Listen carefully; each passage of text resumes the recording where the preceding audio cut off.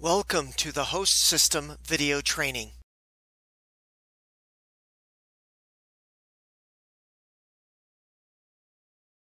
How to use the Host Liberator.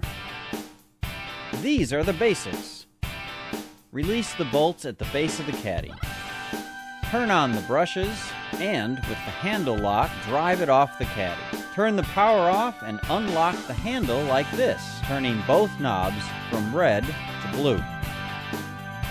Extract or vacuum the carpet first, thoroughly, and in several directions.